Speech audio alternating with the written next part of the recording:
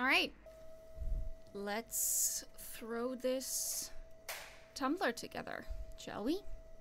The very first thing we need to do is cone the clay up and down a couple of times. Then we're going to center the clay by forming this little puck.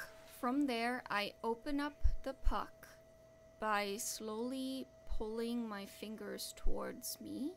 From there, I very, very slowly pinch my two fingers together and pull the walls up. I do that a couple of times because I don't want to pull too fast, because I want the walls to be as even as possible.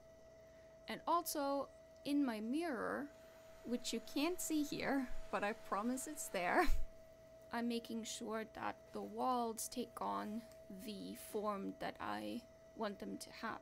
As the last step, I'm taking a very sharp metal kidney, and from the inside, I push the clay against that kidney so that the piece takes on the final form that I want. Now for the finishing touches, I am compressing the rim and making it even everywhere. And then I sponge out whatever water is still left inside the piece. And here's the final result.